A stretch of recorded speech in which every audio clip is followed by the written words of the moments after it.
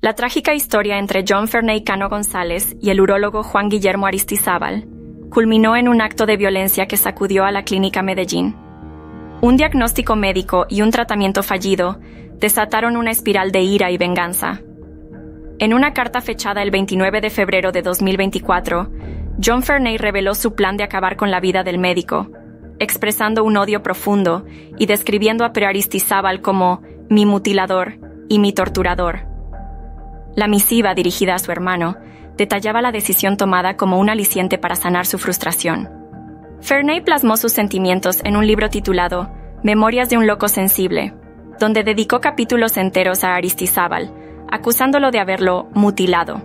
Su propósito de aniquilar al médico era claro, y lo describía como un trabajo al que se dedicaría con devoción.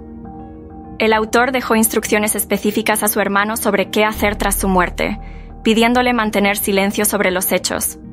John Ferney sentenció que el caso estaba resuelto, tratándose de una venganza por el daño físico y mental que sufrió.